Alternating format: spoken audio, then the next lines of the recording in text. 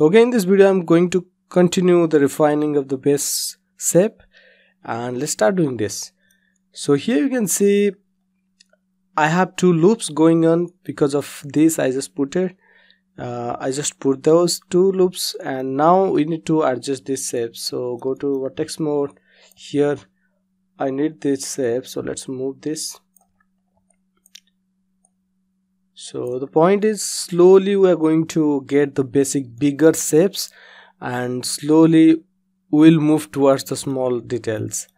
Okay now you can see i'm like from a straight shape. Now i have a little rounded shape there. So let's do so i don't like to stick to a uh, to one place for a long time. So go to different place and do the same level of details. Don't concentrate on one area and no? Um, okay so let's move this thing here to match here. So and here if I press 3 you can see I'm losing this corner. So I can do one thing. I need a curve here and I need like corner kind of here. So I can move this vertex towards it so that it holds that shape better. And I can do here as well. The same thing you can see a little bit curve is there I think from here. And now it's totally straight. I think the reference is not exactly straight. So that's fine. We can do that. Let's match it. Something like this maybe. And now if you press 3 it's uh, matching or holding the shape better. But still we need to maybe tweak it a bit. Let's make it more closer. Something like this let's go to the view here. Okay. And now I'm going to put some more loops here to get this shape you can see the curve. If I hide the model you can see this shape here. So I'm going to get this basic big shapes first. So let's select this edge and go to like edge ring and edge ring split. Then let's move something like this and the bottom part is not straight so I'm going to rotate it like this maybe. Or we can just move it. Let's move these sides. Okay now I'm going to uh, make this angular shape in the front area. So if you check the image let me go here. You can see this angular shape here. So let's do that. I can do that by just beveling this shape. Let's select all this shape I believe it's everywhere. It's prominent here but it's subtle here. So let's do that. Let's select it and let's bevel those like this. And now I'm going to make it a round. Because of these things it's it's not round. Let's move it.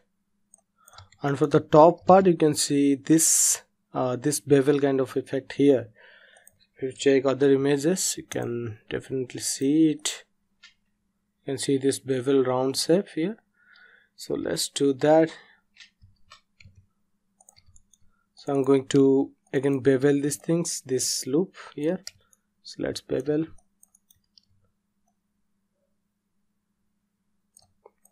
Okay so in the right side you can see this shape here this complex space. So i'm going to like block this so let's we have already two edge loops matching with this shape here. Now I just need to have one edge loop here somewhere so that I can like select and extrude this area. So I'm going to add one edge loop somewhere mm, here like this. Okay somewhere here. And now I'm going to add one edge loop here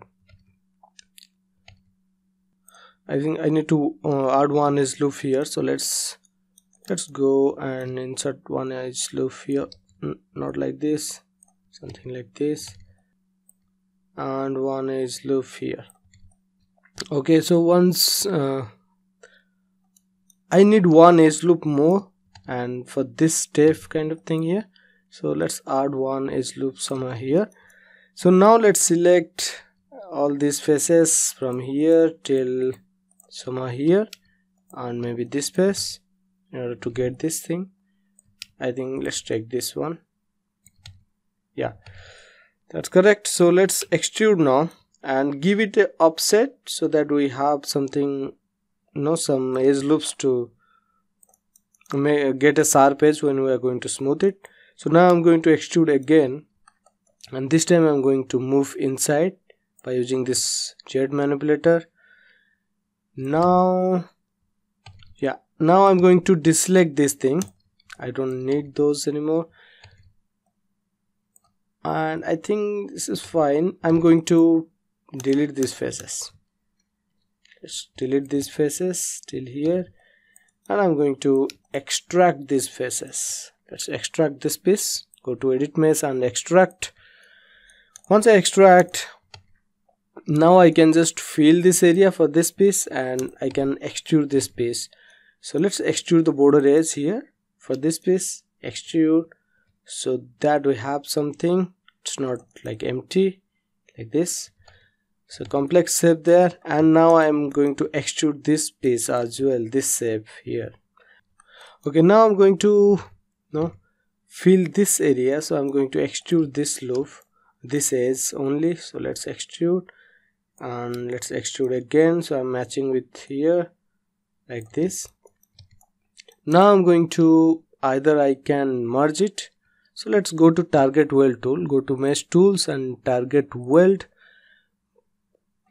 now go to vertex mode here and just bring this vertex till here and this to till here. I think could have I could have extruded all these spaces I think. So maybe extrude this. Again I can just hold V and move somehow here your vertex so it will snap there. Now I'm going to again target weld tool. Again you can hold shift right mouse and will this get this target weld here. So let's move this vertex to here. And now I'm going to move or extrude this I think I could have extruded this as well so let's extrude till here. Extrude.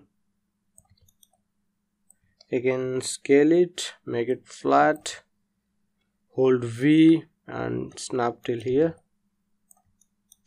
You can go to target weld tool and merge it. Carefully just. In case uh, like this.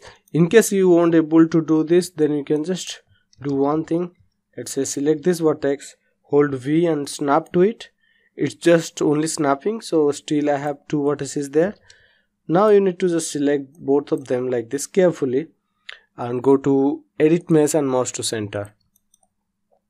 If target weld is hard for you or now I have to do the same thing here so let's select and go to edit mesh merge to center.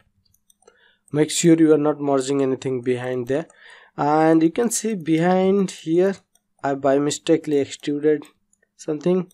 So let's select and press shift greater than to like grow the selection and delete it. I think I should grow it once more to get rid of this loop. Yeah delete it and fill this area okay so i'm going to stop this video here. In the next video we're going to refining the shape